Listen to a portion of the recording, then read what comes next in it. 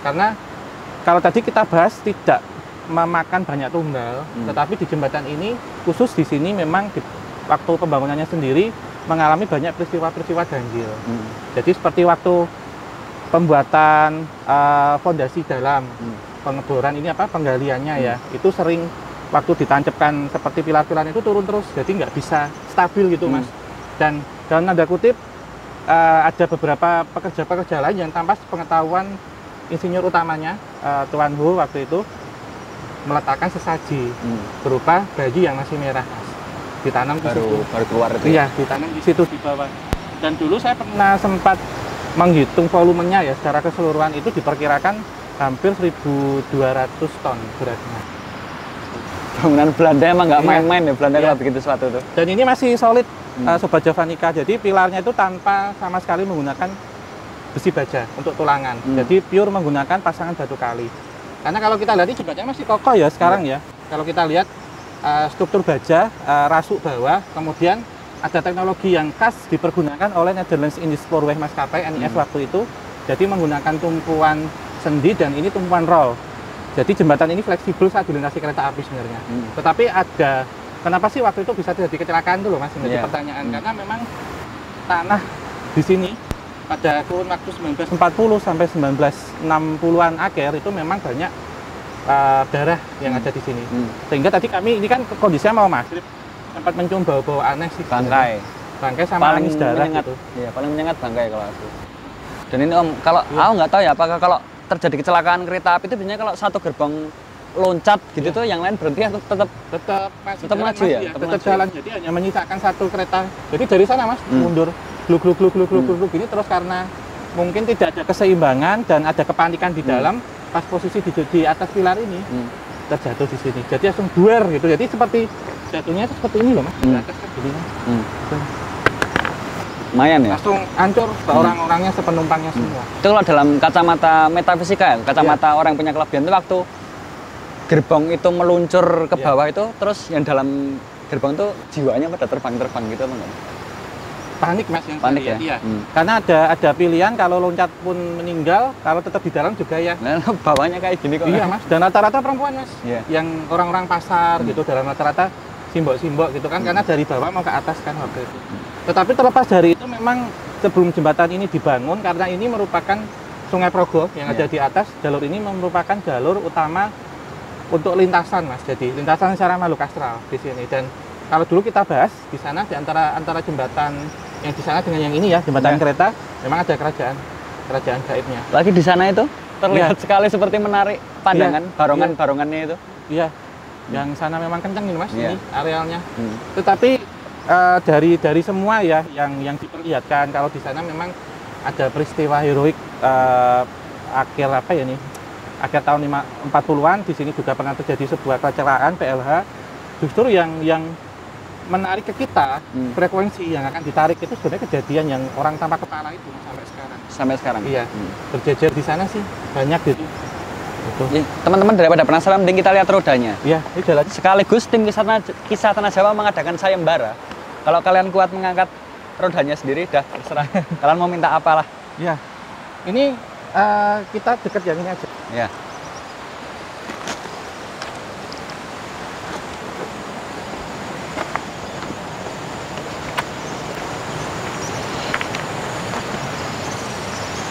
Ini aja mas, entah. Ya. Aduh. Wah, ayo buat.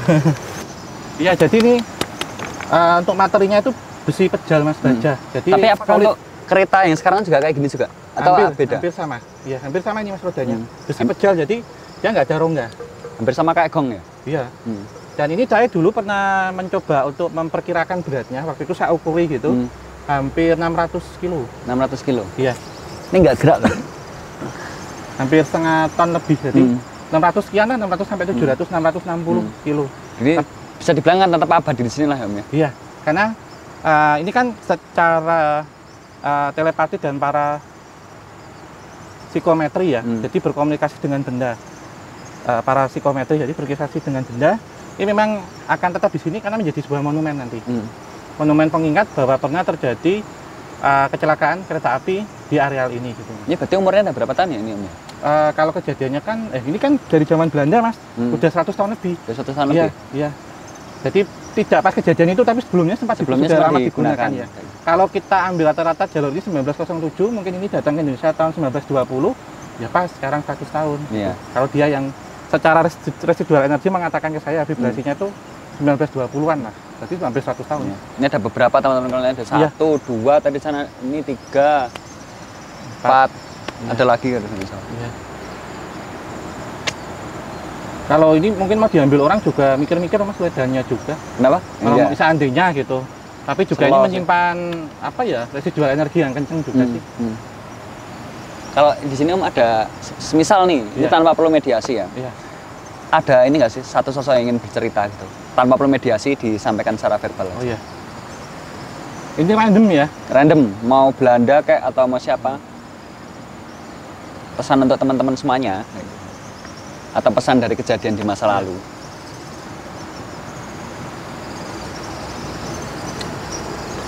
Ini nganu sih mas, eh, yang menyampaikan tuh sebenarnya ada angin datang ya. Hmm.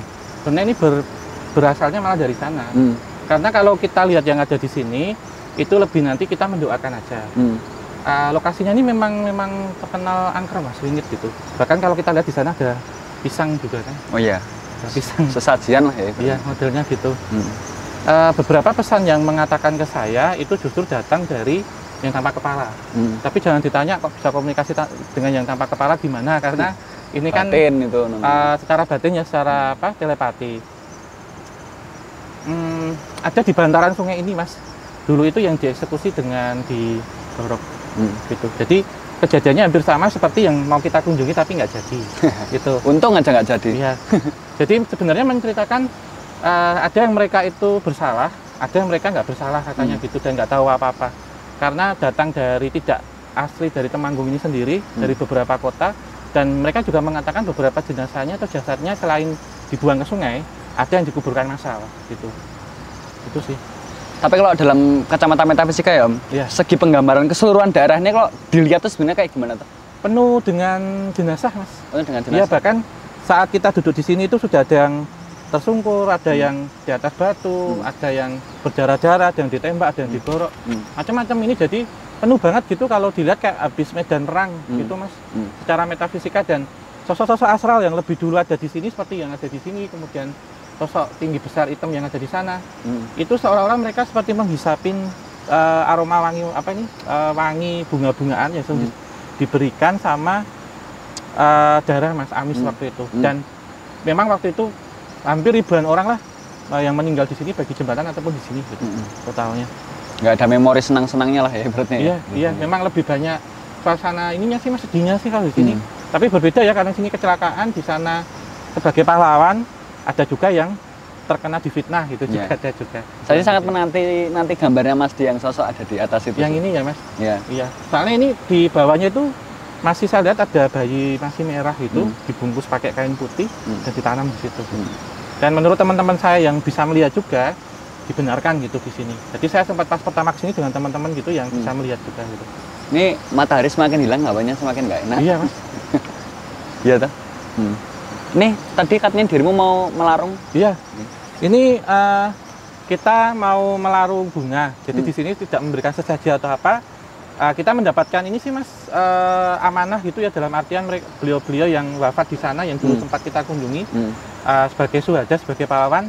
Kita kalau ke sini ada baiknya tabur bunga sembari mendoakan. Ya. Semoga peristiwa baik peristiwa kelam semuanya ya Hmm. eh, pada akhir tahun 40-an, pertengahan 60-an itu jangan sampai terjadi lagi. Ya, amin. Karena- ya. Ya.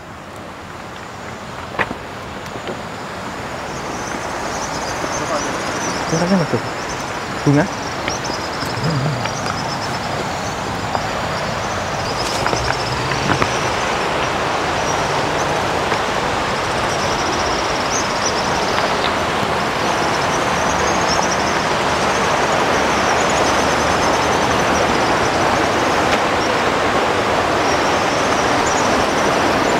Dicemplungin semua atau satu-satu? Ya, tabur aja.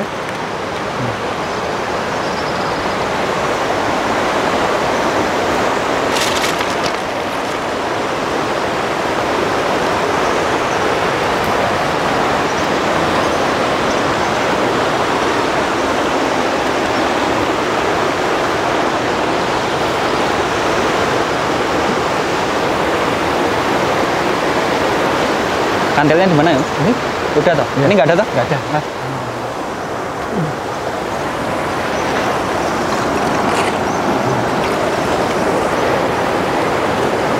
Udah. Ya, kita doakan bentar. Ya.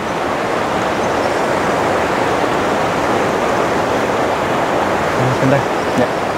Jadi teman-teman, mungkin ini adalah sedikit apa ya perjalanan kita untuk ya mengenang kejadian-kejadian yang mungkin tidak direkam oleh buku-buku sejarah yang pernah dipelajari kita semasa sekolah bahwa kejadian naas sebenarnya banyak terjadi dan ya patutlah kita sebagai generasi sekarang walaupun ya kita tuh sebenarnya siapa tapi kan nggak ada salahnya kita datang di sini mengingat yang dulu-dulu walaupun berjasa atau tidak berjasa itu kan urusan belakangan lah ya om ya. Ya, namanya setiap kehidupan itu kan patut dihargai kayak gitu pesan darimu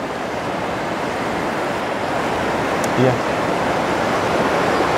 Sebenarnya eh, peristiwa-peristiwa kelam yang pernah terjadi di bangsa ini itu menjadi pelajaran bersama hmm. eh, di masa datang. Karena suatu peristiwa sejarah itu kan tidak akan bisa terulang, Ya. tapi polanya. Kalau kita lihat di sini memang terjadi sebuah pembantaian ya di mana orang asing yang membantai warga kita Mas. Hmm. dan juga terjadi sebuah peristiwa perang saudara. Sebenarnya ini adalah korban-korban perang sih ada yang di sini dan para pendahulu kita berharap peristiwa ini menjadi pelajaran berharga, menjadi pengingat kita semua untuk kita belajar terhadap kepada sejarah agar di masa sekarang di, dan di masa mendatang ini tidak akan terulang kembali gitu. Karena ini menjadi sejarah yang sangat kelam gitu. Itu Ya. sih Mas yang disampaikan beliau semua yang ada di sini. gitu. Akhir kata teman-teman mungkin sekilas ya perjalanan kita kali ini. Terima kasih buat kalian semua yang sudah menonton. Semoga sedikit perjalanan kali ini bisa ya menyampaikan sedikit alkisah lah dari masa lalu untuk kalian semuanya dan jangan lupa like kalau kalian memang suka dengan perjalanan singkat kita dan komentar kalau mungkin kalian bahkan tahu fenomena-fenomena daerah ini karena daerah ini memang sangat-sangat terkenal ya Om ya. Iya, banyak orang tahu ya. Angkernya juga terkenal banyak ceritanya lah di sini dan jangan lupa bagikan kalau memang info ini sekiranya bermanfaat dan akhir kata monggo Om. Uh, akhir kata, wabillahi taufik walhidayah. Wassalamualaikum warahmatullahi wabarakatuh. Mugia tansah pinaringan rahayu sagung dumadi. Ya. Terima kasih teman-teman semuanya.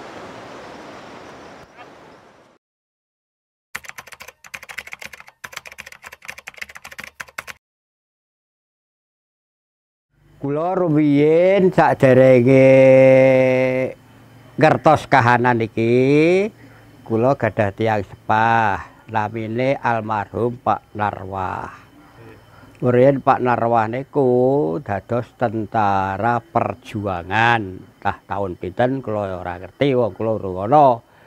Ceritane nggih pil kula pun wonten niku. Sakmono nyepan cerita le biyen kuwi jembatan kene iki biyen bapak kan lek mlaku-mlaku oyak-oyakan karo londo. Wong-wong wong kuwi do disembelhi ceritane bapak. Lebar kuwi sembelih do dibuangi lang kali. Kuwi kene iki lho. Ngoten anak kula, eh bapak kula. Lah kula semptanglet. Pak, akan apa? Bapak kok ora iso dadi tentara terus, kula ngoten. Aku bapak ini tentara perjuangan kok, ya ora iso dadi terus. Ora ngerti nek tentara ki arek gombal kaya biyen wae wong biyen ki tentara ki ora ana sandangan kaya saiki. Ha ngerti arek tentara kaya saiki? Nah, bapak ini tak kira ya iso nerusake. Ade wong biyen ki ora ngerti nek arek tentara ki arek makmur kaya iki. Nah, sakniki sebenarnya kereta niku sak ngetene kula yo bapak ngomong. Pak, akeh kok ban kok akeh temen, ke ban opo anu kula tanglet kali bapak niku. Akake biyen kuwi ana sepur ucul gerbonge saka ndase ke ucul. Njur gludung saka kono. Njur glewang nang kono kuwi. Ah kurbane Pak, ya kurbane ya akeh. Ya mula kono kuwi akeh do dembit akeh do medhite. Kadang kadang-kadang ya ana wong nangis. Kadang-kadang wonten wong tabuhan. Nggih, nek niku tesih sepriki tesih wonten. Nggih, kadang-kadang wonten sing kados tak tak tak tak tak tak kaya balung katet niku. Saniki pun kadang-kadang nggih wonten. Balung katet niku kados balung katet niku ta. Suara-suara. Teklek teklek teklek teklek nah, lek ketik lek do karane do balung katet. Oh, ngoten. Berarti artinya Pak, eh, nek menurut jenengan ting mriki kalih menika niku. Nggih. Sing hal-hal kados ngoten niku enten napa mawon sing sering kados mau Bapak ceritakan enten Ah, saya niku njur Pak. Anu, adikku ana ya ana ana modine kadang-kadang ya ana sesuk wujud kaya tentara, upacara. Kadang-kadang ning ana ana wonge ana wonge ning ora ana ndase. Ngoten. Oh, ah, berarti kuwi wedi saka ndi Pak? Ayo wa saka kuwe jembatan kuwe. oh zaman semonten kathah tiang sing mrisan niku. Ah, nggih, tase. Nek nek ngoten lho mboten tiyang angger semerep to, Pak. Nggih, bener. Nek barang itu lah mesti mbok jenengan sebetulnya kene sing kula sing semerep napa jenengan nggih rencang-rencange mboten sampe semerep. Ah, Nek menawi sing mriki Nek saya mriki nek dene kula ngeten niku wong nangis. Wong tu nabuh gamelan. Kadange balung kantet, dong baunya niku kaya bau bangke gitu loh. oh, pernah ngalami itu Pak. Anu tiap tiap hari mawon, tiap am Jumat, am Jumat ngoten mesti lek tahun pinten mboten ning sepur niku tesih kula pun gedhe, Bapak pun wonten kemutan. Kereta niku biyen wonten sing mlaku, wonten penumpange. Niku terjun malah penumpange niku madhap niku terjun saking saking sepur niku madhap. Niku nggih, nggih mboten mati alhamdulillah niku. Mboten. Niku kula pun gedhe kemutan niku. Oh, berarti enten selamat Pak. Selamat niku. Niku wis tunggal memang bunuh diri napa-napa. Kula kurang dong.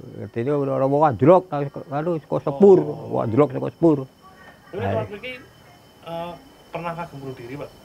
Kali ini Nggih, niku sak ngerti niku diri teh naik kereta niku kereta kayu niku tesian kriyen. tak sering kecelakaan. Sak derenge cilak sampune. Oh, sakmune. Nggih sampune ki ambek numpak sepur terus anjlok. Sepur ini berjalan. Nggih, nggih. Oh. Aki ambek anjlok. Ah, bo- Boten dilaleng boten mati.